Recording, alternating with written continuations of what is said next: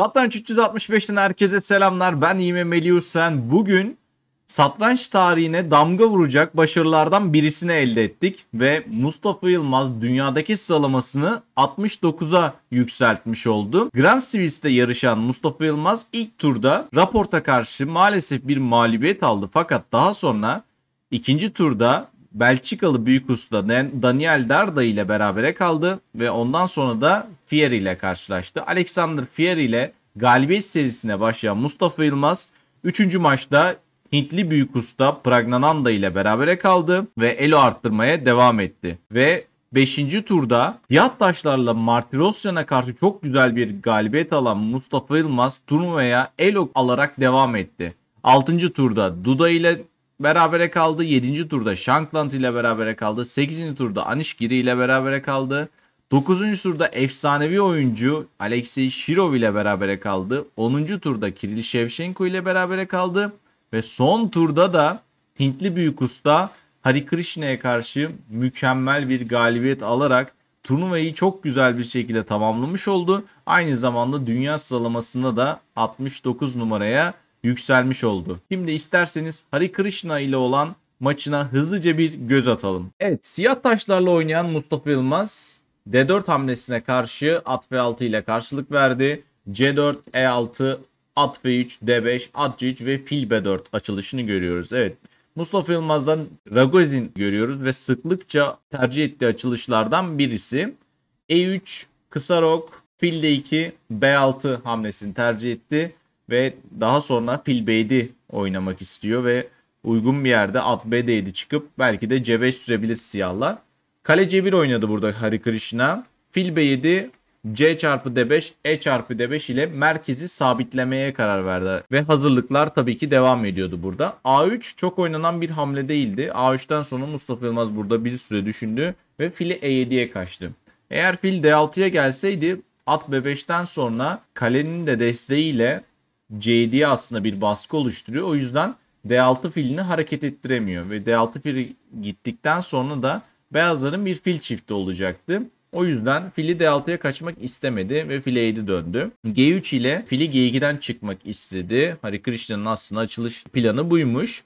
C5, fil G2 ve at C6 oynadı. Eğer burada fil A6 oynayarak siyahlar beyazın rok atmasını engellerse burada beyazlar at E5 oynuyor ve bu da aslında siyahın atın çıkmasını biraz geciktiriyor. Mesela vezir D6 gelip at D7 oynamak isterse eğer hemen at D7 oynarsa beyazların at C6 gibi bir devam yolu da olacaktı. Eğer vezir D6 oynarsa at D7 çıkmak için beyazlar vezir A4 oynuyor ve B8'deki atı da çıkartmıyor. Çünkü A6 filini korumak zorunda. Eğer fil geri dönerse zaten artık beyazlar rok atabiliyor ve bir üstünlük alırdı.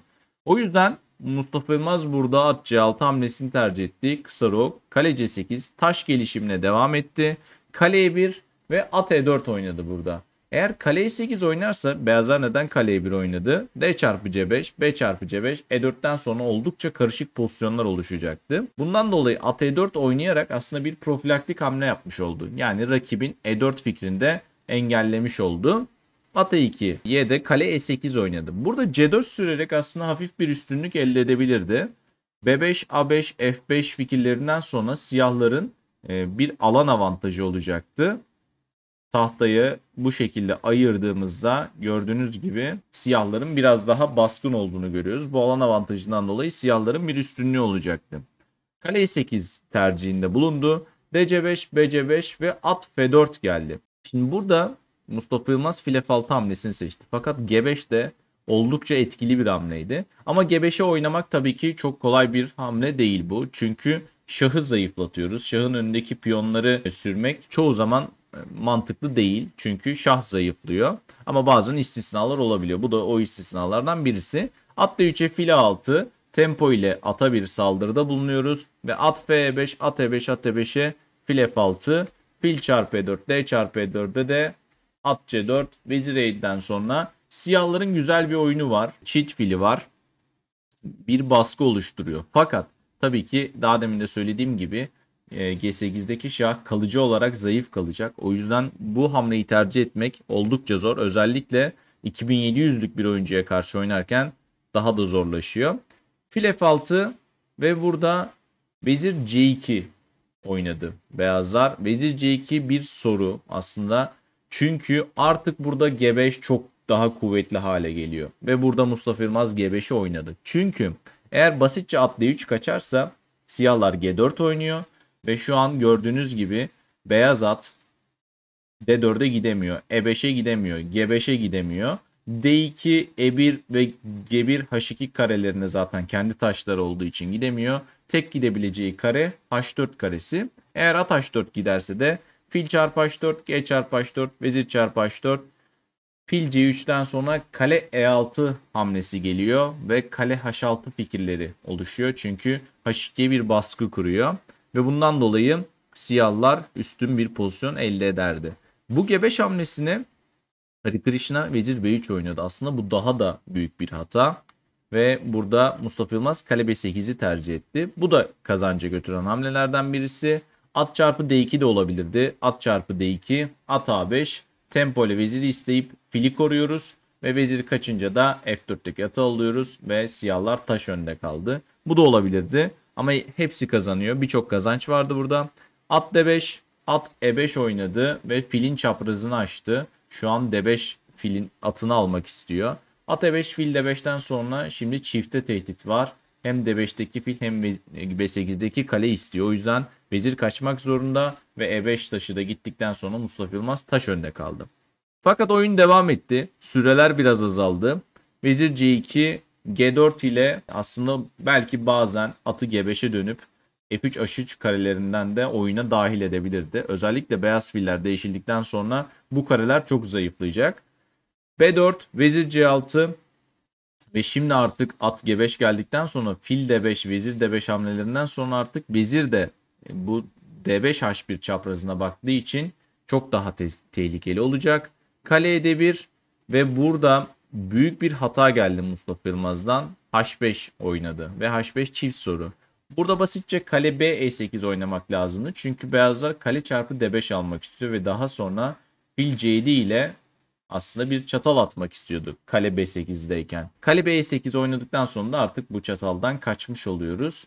Bu taktik temayı da engellemiş oluyoruz. Fakat H5'ten sonra beyazların çok iyi bir savunma yolu var. Kale çarpı D5 bir kalite fedası ve daha sonra fil C7 ile e, bir çifte saldırı organize ediyor. Beyazlar kale B8, file 5, vezir E5, file 4, vezir E4, vezir E4, kale E4 ve kale C5.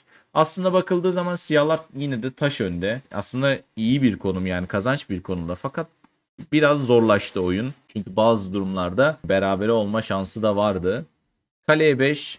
Şimdi artık kaleler değişirse kazanç çok kolay. Çünkü basitçe piyonları istiyoruz. Piyonları beyaza koyduk ve siyahlar şah G7 oynuyor ve basit bir şekilde şahını geliştirmek istiyor. Beyaz şah çok uzaklaşamıyor zaten çünkü bu piyonlar da boşta kalacak. Aynı zamanda bizim henüz aidi piyonunda duruyor. Konum kazanç olurdu. O yüzden kaleleri değişmedi. Kale C4, şah G7, şah G2, şah G6 şahını geliştirdi. H3, şah B5, kale F4, şah G5, kale C4 ve kale E7 ile kendi piyonunu korudu. A4, file 5, Kaleci 8 yine kaleci 7. Kaleler değişilirse daha demin e, de baktığımız gibi yine kazanç pozisyonu olacaktı. Yine bu piyona saldıracağız. Piyonu beyaza süreceğiz ve daha sonra şahla uygun bir şekilde gelmeye çalışacağız. Fili de belki F2'ye saldırmaya çalışabiliriz veya şah diğer tarafa gidip bu piyonları da toplayabilir. Evet. O yüzden kale A8, fil C3, kale B8, GH3, şah H3, file 1 F4, şah B6, E4'ten sonra burada zayıf bir piyon var. Bir tane taşımız saldırıyor. İkinci taşı da geldik. Şu an iki taşla beraber zayıf noktaya bir saldırı düzenliyoruz. E5'e de şah G7 geldi ki kale G8 ile G3'ü koruyamasın diye.